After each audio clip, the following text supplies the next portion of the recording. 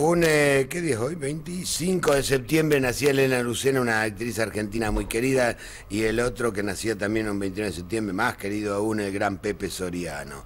Y, eh, en Estados Unidos, mejor dicho en Canadá, nacía un tipo de lo más extraño, se llamaba Glenn Gould, se considera que es el mejor intérprete que haya existido de la música de Johann Sebastian Bach. Eh, dio su primer concierto de órgano a los 13 años. Tenía este aspecto, no tenía ningún impedimento físico, pero le gustaba ese loco. Este, a veces tocaba el piano tirado para adelante, a veces grababa composiciones de Bach y tarareaba. Entonces los tipos dicen, espera, no podés tararear. Ah, yo toco así, decía. Pero estamos grabando. Ah, bueno, no sé, qué sé yo. Bueno, a los 32 dejó de actuar porque se cansó, dice, para dedicarse a grabar en estudio incorporando tecnología digital.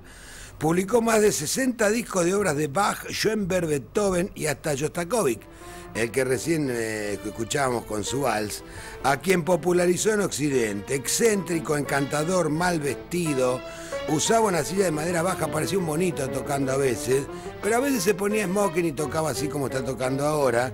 Tiene un lugar de honor en una vitrina de la Biblioteca Nacional de Canadá. Se murió de un infarto cerebral. ¿Cómo será el genio de este joven? De este tipo, ¿va? Que la nave Voyager, el viajero, que despegó en el 77 para buscar vida en el universo, lleva una ejecución de un tema de Bach de este pedazo de loco que se llamaba Glenn Gould y que falleció muy joven, si no, sería tocando.